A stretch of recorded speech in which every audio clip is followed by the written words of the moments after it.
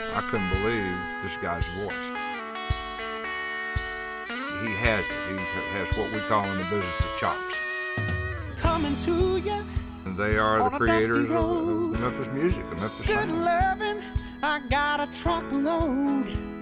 And when you get it, ooh, you got something. So don't About just worry, Doing cause what I know I I'm coming. I'm a soul soul man.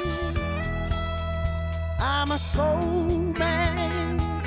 Yeah, I'm a soul man. Yeah.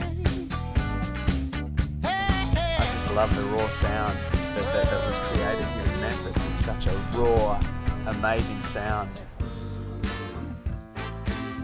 There's evidence listening to the radio that that what we term as soul music or R&B uh, is really getting back to the song. Steve Cropper has really taught me a lot. He, he's really taught me the value of good musicians and the value of, of having musicians that understand each other. Sitting in the morning sun. You know, there'd be times when, you know, Steve would go, you know, When the evening comes. and I'd be like, yeah! If you disrespect everybody You know, I, I don't ever want to stop. into, I want to keep making music as long as, as I can.